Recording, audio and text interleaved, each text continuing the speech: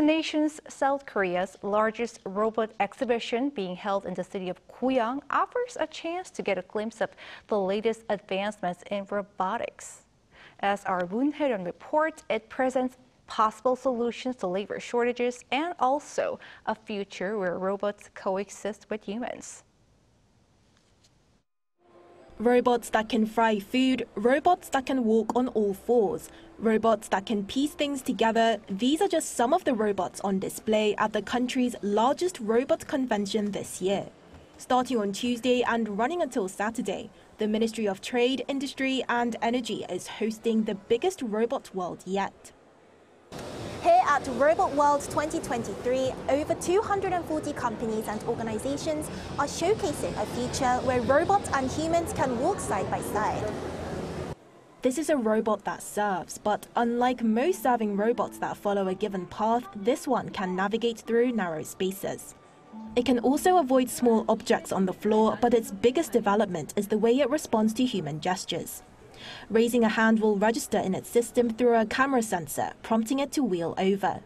This South Korean company also developed the first cleaning robot in the world that, instead of wheels, has a mop that swivels to move. This year, it's been upgraded so that it can pass over raised door sills into different rooms. But robots are now advancing beyond assisting humans in their daily lives.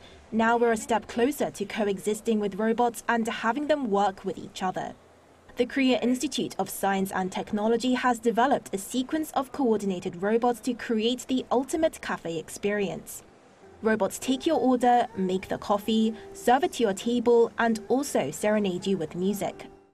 This demonstration shows how different robots will be able to coexist with us in the future. And it's not just in our everyday routine where robots come in handy. In industrial production, they're key workers. Labour shortages in the shipbuilding industry are a serious issue all around the world. Not only are there not enough people, but as jobs such as welding require special training, it's difficult to find people who have enough experience to produce the quality of work needed. With these robots, however, anyone can weld.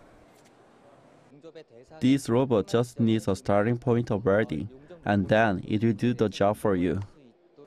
With the expansion of robots in a wide variety of fields from service to manufacturing, it's fast becoming a key future industry for the country. The government will be announcing its fourth basic plan for intelligent robots within the year in order to foster the robotics industry further. Moon Hye-ryeon, Arirang News.